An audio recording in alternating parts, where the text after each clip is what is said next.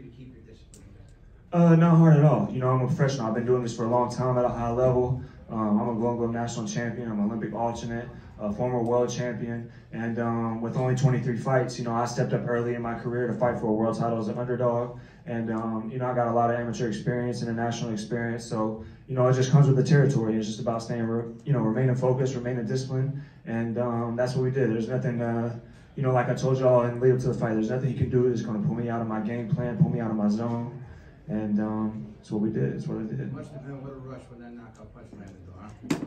It felt all right. Yeah. Caleb, what did you learn from the Canelo fight that you used towards Anthony?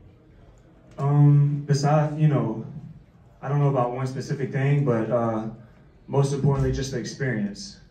You know, uh, you can't buy experience. You can't borrow. You got to go through the fire to get it. And um, I did that, and I feel like I did that with grace. I went out on my shield. Um, I didn't just come for a check. I come, I laid it all, all out on the line. And, um, you know, it was a good experience. And now I've gotten to, you know, take that experience with me into these other big fights.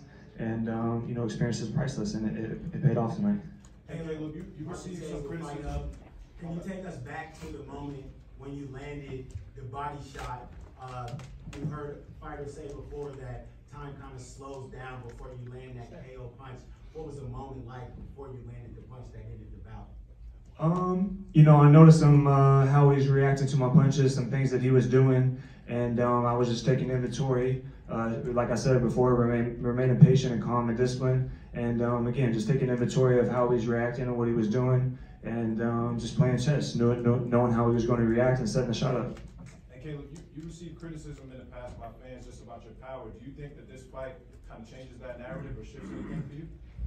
Um, you know, I'm not really concerned with uh, what people say about me or what they have. You know, if I listen to people, I wouldn't even be be at this level. So um, I know what I'm capable of, and in the past, even people said that I haven't, you know, had power, but then they wind up just standing there looking at me for the most part, most of my opponents. And um, so, you know, if I don't have power, then why not just keep on going? So uh, people can say what they want. Me and my team are going to remain focused, zeroed in, continue to smooth the edges, keep working, and uh, just getting better.